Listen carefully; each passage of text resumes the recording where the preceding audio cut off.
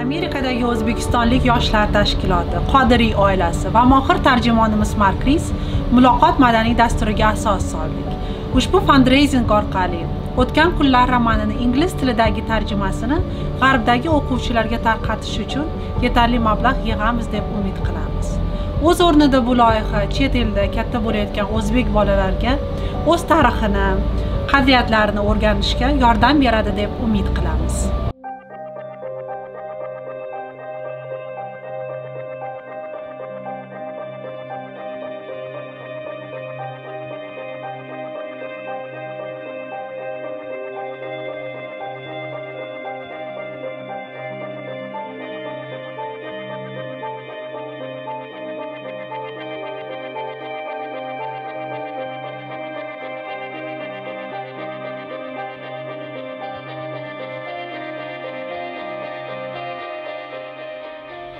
Hello, my name is Mark Reese. I'm the translator of Abdullah Qadiri's iconic novel, Utgan Kunlar, or Bygone Days.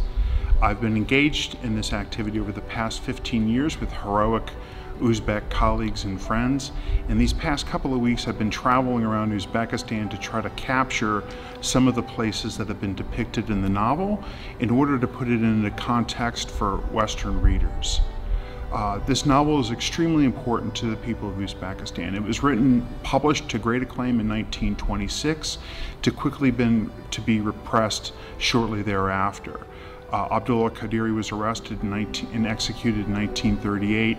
Another version was republished in 1939, a heavily redacted version, to only have it be republished in the early 1950s during Khrushchev's thaw.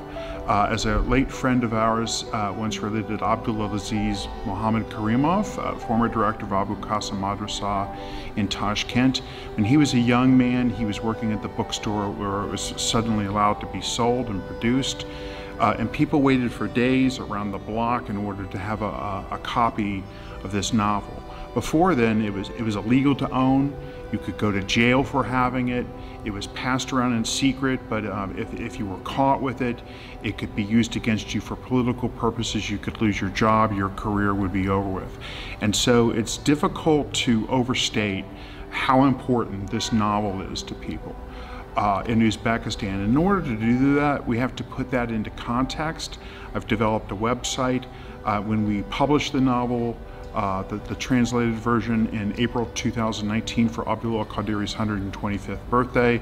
I plan on producing an ebook with images and songs and, and maps and uh, 400 explanatory notes that can be used for Western users, readers to understand uh, the context of the novel, uh, of a very culturally rich document that provides not just a history of Uzbekistan, but relevant issues today that Uzbeks are still grappling with over issues of religion, societal change, their own history. So I can say without reservation after 24 years of dealing with Uzbekistan that this is the novel that you need to read in order to understand not just the Uzbek people, but the people of Central Asia.